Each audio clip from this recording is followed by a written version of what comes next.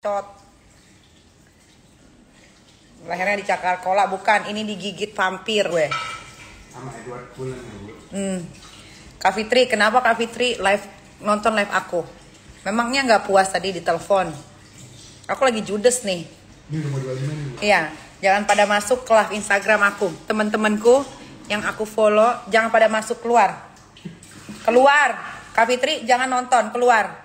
Pokoknya Kak Fitri nggak boleh nonton. Nah, udah 25. Gua mau menanggapi soal klarifikasi dari si Mahadukun ya sama si eh, Maha Mega Dukun ya. Gue mau klarifikasi itu.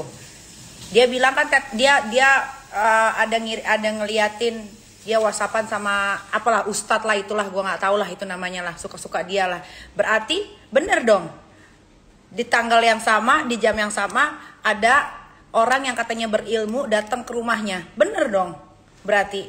Berarti bacot gue bener dong ya kan? Tapi mereka klarifikasi seolah-olah mau dirukiah. Logikanya kalau mau dirukiah yang dirukiah kan gue. Kenapa bukan gue yang dipanggil? Maharani kenapa bukan gue yang dipanggil untuk dirukiah? Lu kan lu kan membalas komennya netizen tuh di Instagram feed lo tuh yang terakhir. Lo bilang kalau di Bali itu tidak ada yang namanya dukun. Adanya apa tuh? Eh, melukat segala macam ini itu. Kok tiba-tiba lu lari ke rukiah? Kok lu lari ke rukiah? Maksudnya gimana? Udahlah nggak usah klarifikasi klarifikasi malah menandakan lu tuh ma- memang bener. Lu tuh bawa dukun kan lu disuruh tuh sama sama si ustadznya apa sama si dukun gua nggak tahu lah itu ya. Lu kan disuruh sama dia suruh laporin gua. Laporin! Laporin! Yang gue terima yang gue terima di DM-nya Kak Fitri dan di handphonenya Kak Fitri itu bukan rukiah tapi gua didukunin. Tapi gua didukunin. Terus lu klarifikasi rukiah iya gue nggak tahu lah mungkin sebelumnya lu udah kongkolikong dulu apa bagaimana. Gue nggak tahu. Tapi yang gue dapet ya dari WhatsApp dan dari DM itu bukan rukiah dan katanya si Maharani bilang dia kata Igun katanya telepon gua udah menjelaskan kalau itu rukiah kapan kapan kapan dia ngejelasin kalau itu rukiah Kapan? Gak pernah. Yang ada gue nelfon dia, dia cuma bilang gue gak mau ikut campur. Gue gak ikut campur. Kapan? Gue tanya.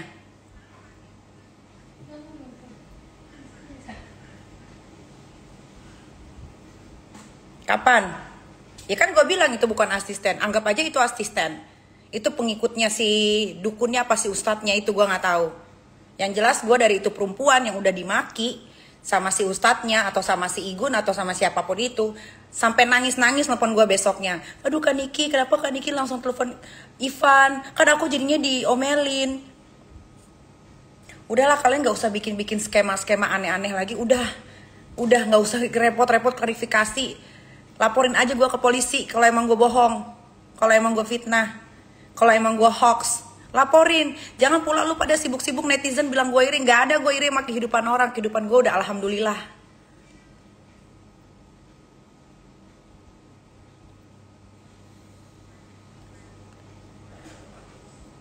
Meanwhile, Bunda anda nggak peduli apa bagus. Memang harusnya dia memang nggak peduli dari dulu juga harusnya dia jangan peduli.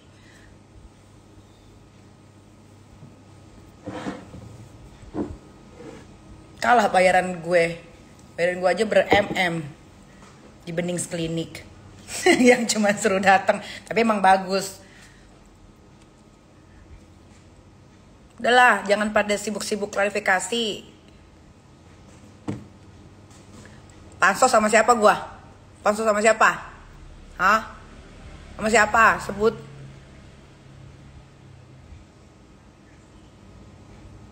Pakai terisak-isak nangis. Aku pengen semuanya damai. Sesak napas loh. Keselak biji apa? Sampai begitu. Sampai gitu.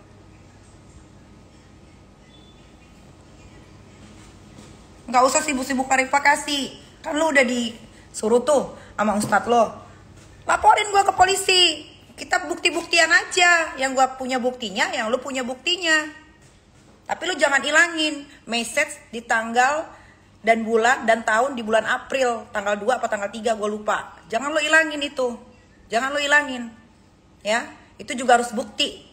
Bagaimana cara lu memesan itu ustadz atau dukun, gua nggak ngerti. Setahu gua, kalau lu memang mau ngerukiahin gua, harusnya lu panggil gua. Emangnya bisa rukiah pakai online? Emang ada rukiah ditiup gini, pff, gitu. Panggil gue. Kan tertujunya ke gue. Tertujunya. Baru tahu gue kalau ada rukiah online.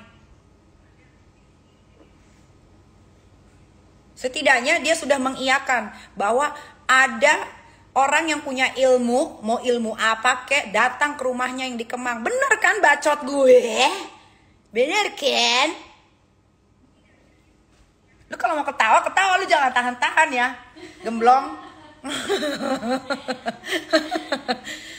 ah, bener kan berarti ada ada kan peristiwa itu ada. Tapi dia bilangnya katanya rukiah. Kalau memang rukiah, panggil gue. Kan gue sasarannya. Kenapa yang dirukiahnya jadinya bukan gue? Tenang, setan di tubuh gue bisa diajak kompromi. Kapan bisa gue suruh keluar, kapan bisa gue suruh masuk.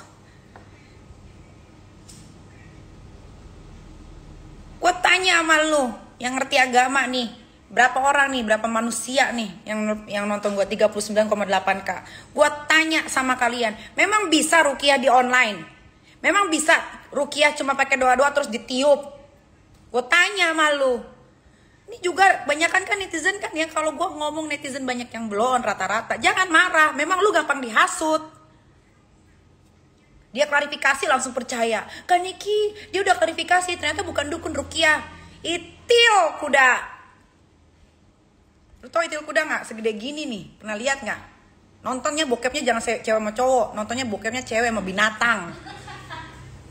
Biar lu tahu itil kuda segede apa.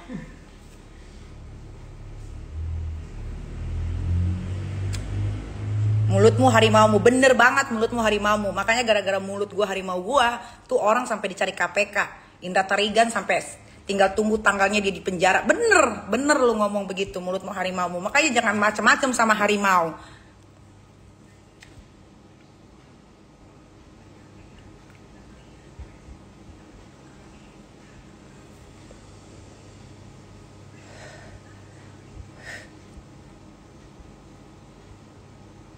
Udah tubuh 39, berapa kak nih? Lu nggak mau tantang gua? Suruh gua terjun kek, suruh gua nyungsep kek. Gua lakuin lu sawer gua ya. Tapi jangan 100 juta, 1 M. Harga gua nggak semurah itu.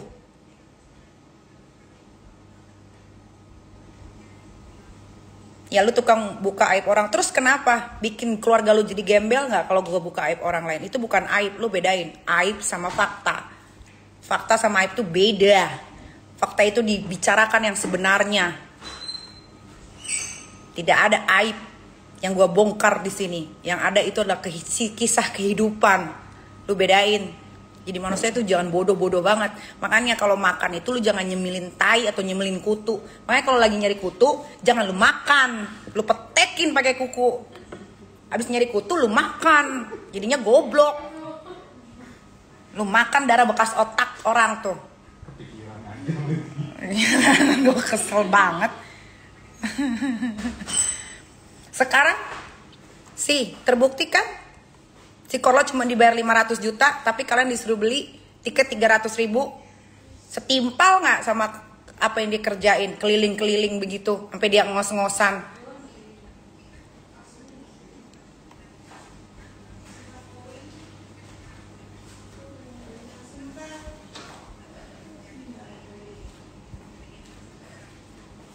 Kalau lancar, kalau nggak suka berbohong, itu ngomongnya lancar kayak gue.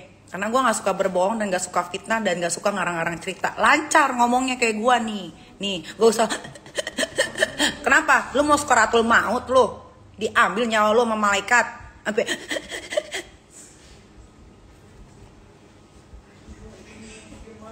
nyelip kan celana dalam gua. Lip nih celana dalam gua nih. Iya, tapi nyelip. Gue bingung bisa bergerak begitu. Jangan-jangan siluman lagi nih yang mindahin celana dalam gua nih. Di pantat nih.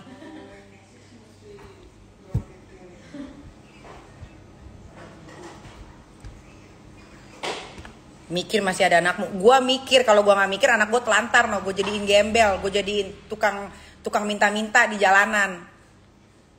Jangan lu sibuk-sibuk mikirin anak gua, lu pikirin anak lu sendiri. Kejauhan lu mikirin anak gua anak gue fasilitasnya udah number one Gak usah pikirin pikirin anak gua kejauhan, pikirin tetangga anak lu aja tuh yang jelas-jelas deket dan kenal sama lu.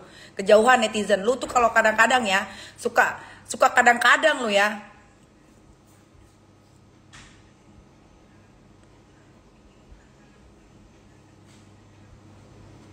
jadi manusia silver. Nah, tuh kata si ular, anak gue gue bisa jadiin manusia silver kalau gue nggak rawat ya. Tolol. Lu nggak lihat kehidupan anak-anak gue? Nggak usah ngurusin anak gue terlalu jauh. Ya Allah coba sejenak bisa kalem nggak? Nggak bisa. Gak usah nyuruh-nyuruh gue kalem. Mau bayar berapa lu gue jadi kalem? Netizen nih udah melarat, nungguin dana bansos, nyuruh-nyuruh gua lagi. Tahu malu.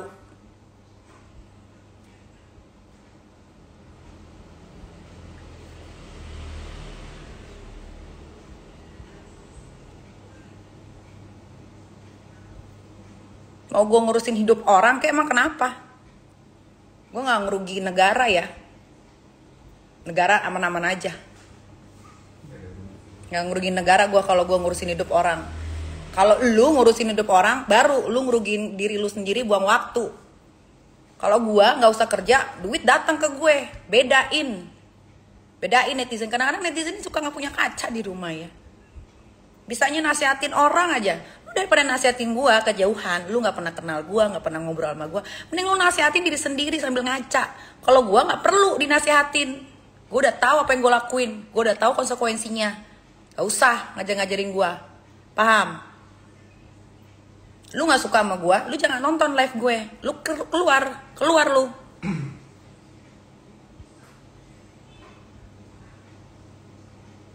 Keluar, gue udah biasa dibully. Ujung-ujungnya gue bener pasti. Ntar lu pada bilang, bener juga ya kata Nikita. Bangke lu semua. Lu pada nyemilin ini ya, krak bool ya. Bodohnya tuh ketolongan tau nggak? Kerak bool yang lu jilatin lalu kemilin tuh. Makanya blow on jauh banget lu pada ngurusin hidup gua. Kalau gua mau ngurusin hidup orang nggak jadi masalah. Lu yang jadi masalah ngidupin ngurusin hidup gue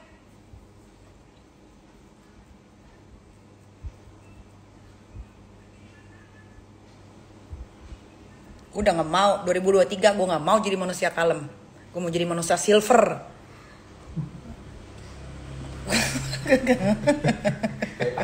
Iya. Aduh.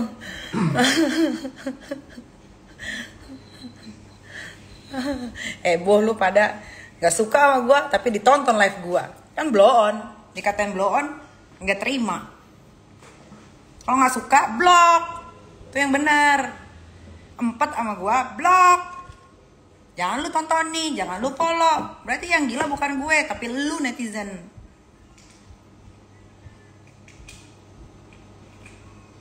Manusia bertanduk tuh, Kak Fitri manusia bertanduk. Dajal dong aku Kak Fitri. Kelihatan dong aslinya aku dajal. manusia bertanduk. hmm.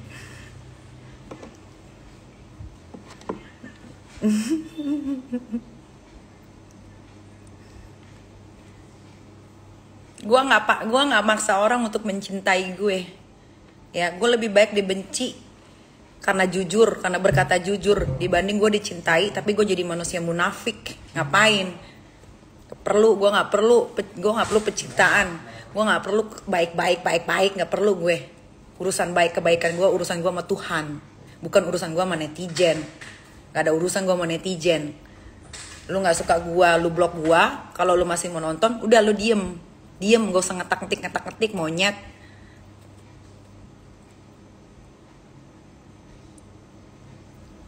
Ini nggak pakai filter muka gue. Nih muka gue nggak pakai filter. Tuh tuh tuh tuh. Gue cuma pakai Nikita Mirzani skincare yang gue bikin di Korea.